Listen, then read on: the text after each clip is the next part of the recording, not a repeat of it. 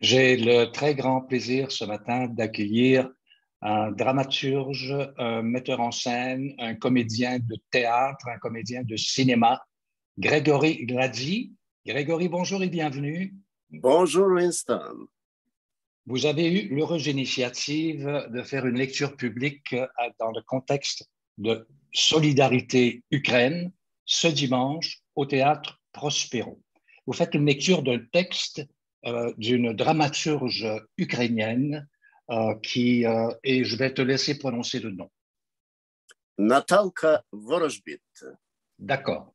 Et quel est le titre et le contenu en synopsis de cette lecture?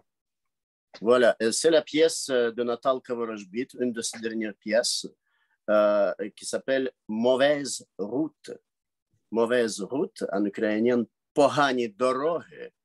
Et c'est une pièce qui parle sur la guerre en Ukraine, effectivement.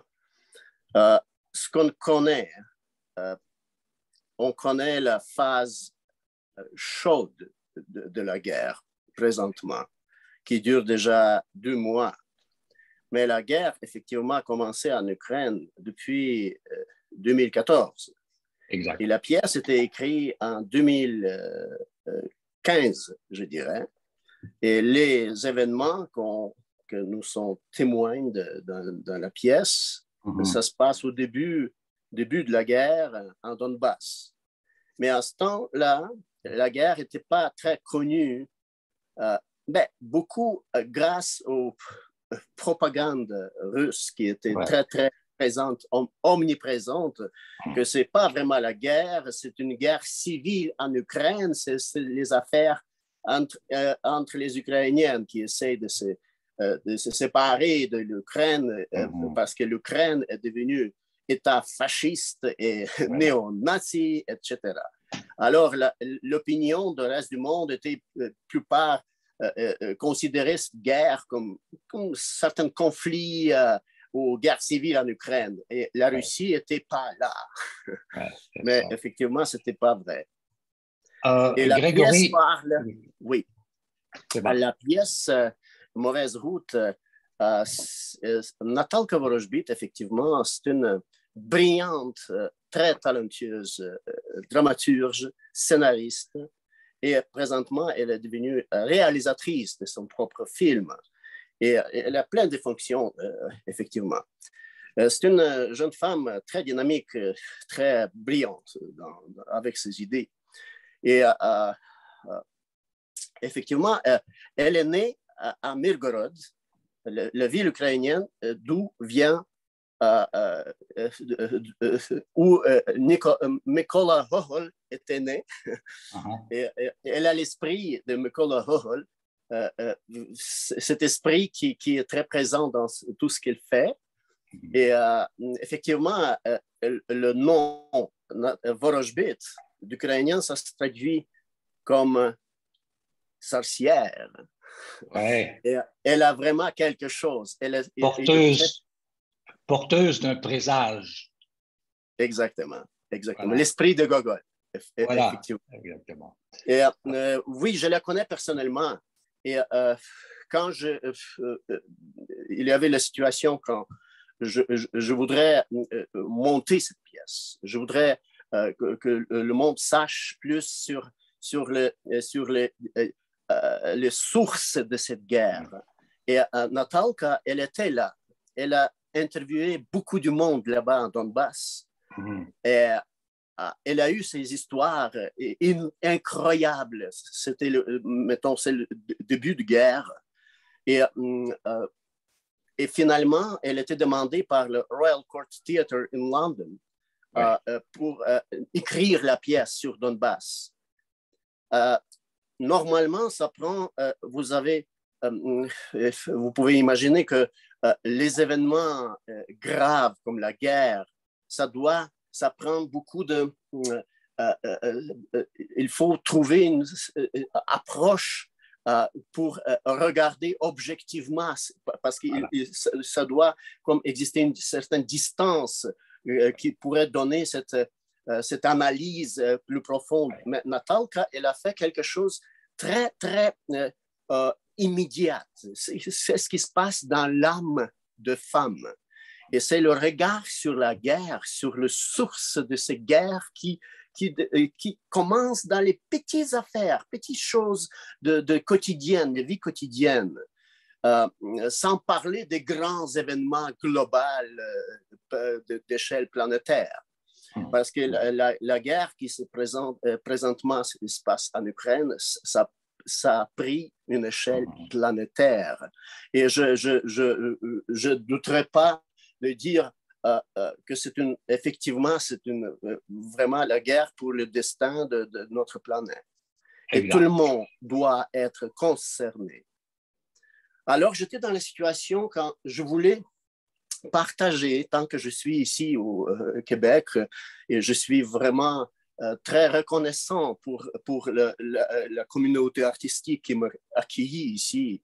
Et j'ai eu l'occasion de me réaliser euh, mes possibilités, mes talents. Ben, j'ai fait des mises en scène au théâtre Prospero. J'ai fait plein de choses comme, comme de mon métier. Je n'ai jamais changé mon métier.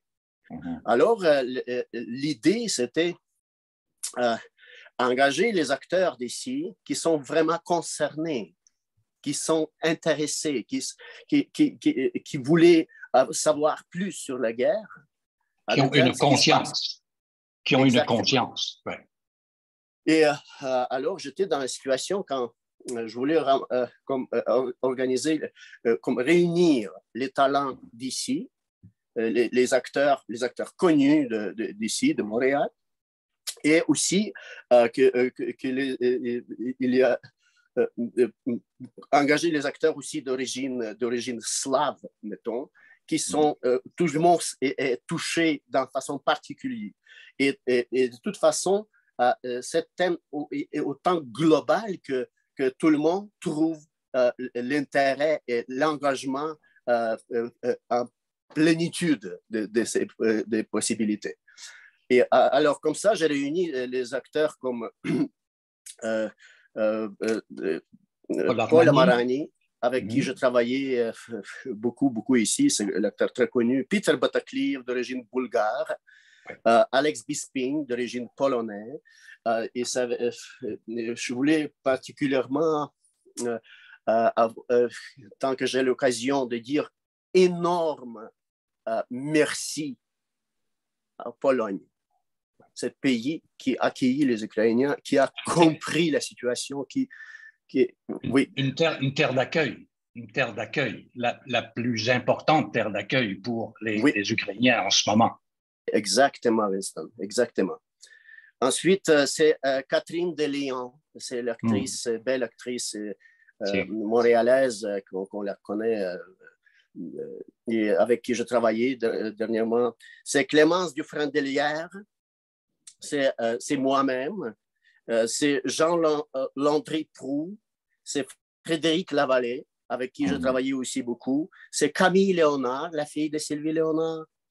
C'est Daniel Prou, la grande Danielle Prou. Incontournable. C'est Francis William Rayon et c'est mhm. Sacha Samar, aussi d'origine ukrainienne. Alors, comme ça, euh, euh, moi, je, personnellement, j'ai passé la vie, ma jeunesse, ma jeunesse et, mes, meilleures années euh, mhm. productives, je passais là-bas. Effectivement, j'ai travaillé en Ukraine. Après ça, j'ai travaillé en Lituanie. Après ça, j'ai travaillé à Moscou. Et c'est jusqu'à l'âge de 30, 33 ans, j'ai vécu là-bas. Et euh, après ça, je suis devenu euh, citoyen canadien. Et euh, comme ça, j'ai l'occasion formidable de, voir ce qui se passe là-bas de distance. Et je, je, je, sais cette réalité de l'intérieur et je mm-hmm. sais cette réalité de l'extérieur. Je, suis capable de voir euh, de euh, comparer, je devrais dire qu'il existe énormément de misinterpretation euh, de la situation, beaucoup de, beaucoup de fake news. et beaucoup désinformation. On appelle ça de la désinformation.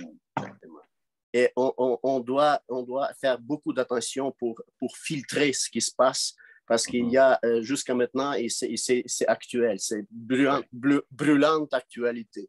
euh, comment discerner ce qui, ce qui est bon, ce qui n'est pas bon? Grégory, c'est très facile de faire un topo avec toi. Hein. Je te pose une question et là, tu démarres et tu me dis tout. C'est génial. Cependant, je voudrais rappeler que cet événement est d'une importance majeure et d'une portée internationale. Et il est nécessaire de sensibiliser au maximum tous les intervenants du milieu culturel pour être solidaires. Et cette solidarité ukrainienne que l'on retrouve avec toi, avec ton initiative, celle de Siri Salov, le musicien, le grand pianiste euh, qui a remporté plein de prix à l'international et ici, tout comme ta carrière, ton illustre carrière, formée sur les bancs euh, de l'école des grands penseurs du théâtre et de l'école de Moscou.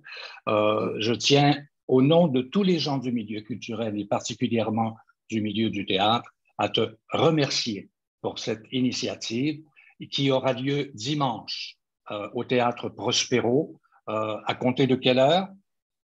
À compter de 13 heures. D'accord. Et, il y aura, oui, il y aura une, une, une suite au Théâtre Centaure, mercredi le 3.